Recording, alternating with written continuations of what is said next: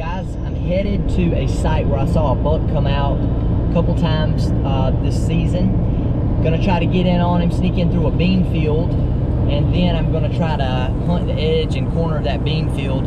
He, he came out uh, the, the last time I hunted that area and I had a bow, but he never came within bow range. We're gonna see what's gonna happen today. Uh, sometimes it works, sometimes it doesn't work, but that's the part of hunting that's exciting because you never know what's gonna happen. And when it does happen, it makes it that much rewarding. So gonna, gonna sneak in, set up on a tree with my tree saddle, the same location that I hunted with my bow, unless just things are not right. So I'll kind of gauge that when I get there, have my bike, gonna use that to move in to park a little bit closer without having to drive my truck in. About to run into the local Dollar General, grab my supper. Got donuts. The only problem with these powdered donuts is I'm afraid the deer might see my lips. The negative to drinking too much Powerade before you go hunt. You'll get in that stand and wish you had taken a break before you got in there. I'm gonna just leave it at that. I'm telling you, I'm gonna get me a deer today. I am. We're gonna see what's gonna happen here.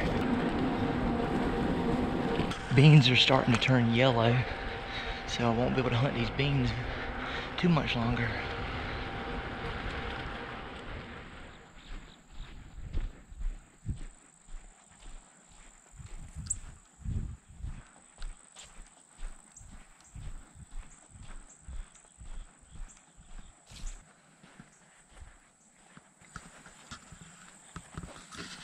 Sometimes there's deer feeding in the back of that field. I'm going over here. So, that deer normally comes out on that back field. I'm actually going to cross the middle of this field. I'm going to go to that corner.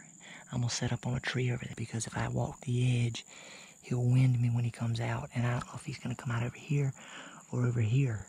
So I'm going to take the middle of the field. I'm going to keep my head down. We're going to see.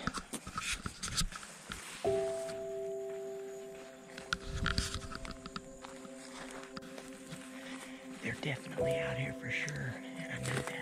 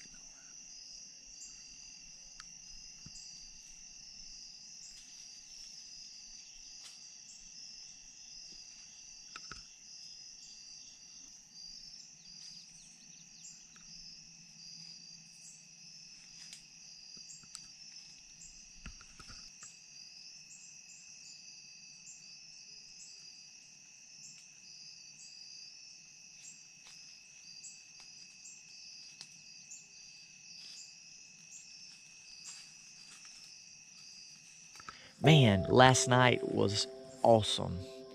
I had a bunch of deer coming on me. I had a doe coming on me, three bucks right by my stand within bow shot. I didn't have my bow, I had my rifle. So I selected not to shoot any of those deer. Uh, there was a six point, was questionable, but I didn't end up taking that shot. We'll see. Uh, when it's time to put free, uh, meat in the freezer later in the year, we'll see if I regret that decision or not. But anyway, guys, hope you guys enjoyed the video. We'll see you soon.